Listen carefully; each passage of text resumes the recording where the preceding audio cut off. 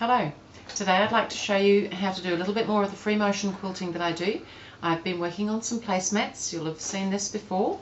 Um, I have done, for the main area, I've done some free motion quilting which I call Meander Plus, which is meandering with a little shape. Now I showed you in um, my tips and techniques video number 007 how to do the Meander Plus with hearts and then I've done this one as the Meander Plus but instead of hearts I've put some little wonky stars in there. And then I showed you in another video in tips and techniques number 023 how I block out an area using some freezer paper and today I'm going to show you what I'm going to do inside that area um, to make it a little bit interesting. I'm going to do one of the large wonky stars we hope and some mini meander in behind it. So we'll just get started with the star first. And I've got it's free motion um, so I've, I've, just got a lightweight thread on and I'm just going to start um, down the bottom and I'm going to start, it's just one of these wonky stars that you draw. Um, so the shape doesn't really matter as long as it fits inside the box. We're not trying to make it an exact shape. You could draw it on first, but I've just chosen to do it free, so here goes.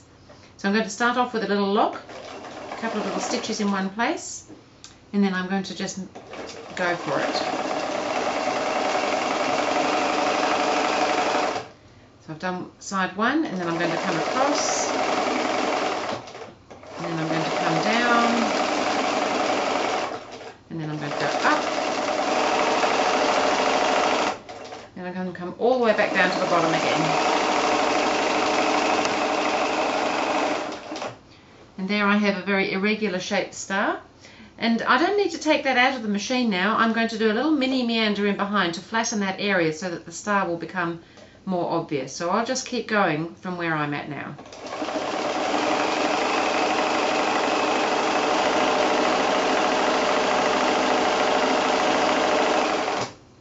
So this is just a little mini meander and I have shown you previously how to do meandering in tips and techniques number 003 um, but I'm doing it much smaller than I have done it in that video.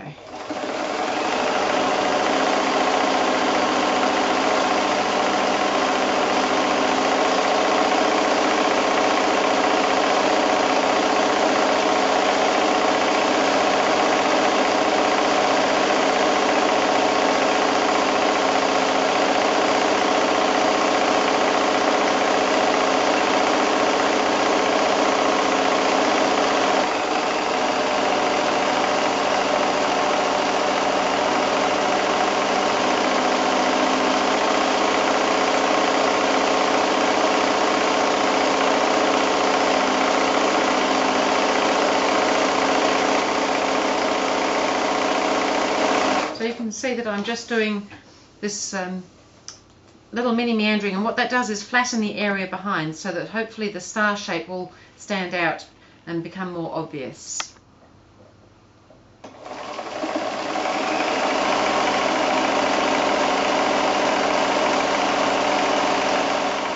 So I'm just finishing off the last bit of the mini meander here around this star.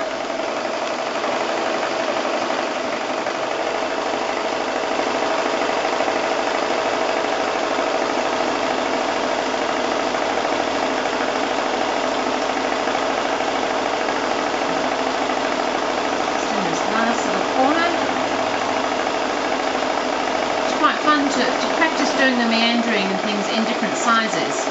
You can do large, you can do small, this is pretty small, and you can see that it has different uses in different sizes. It doesn't have to just be a meander or stipple. So there is my finished quilted placemat, which is, I think the star is showing up nicely because we've flattened the area behind and just a little bit of another idea for you for doing some machine quilting. Thank you.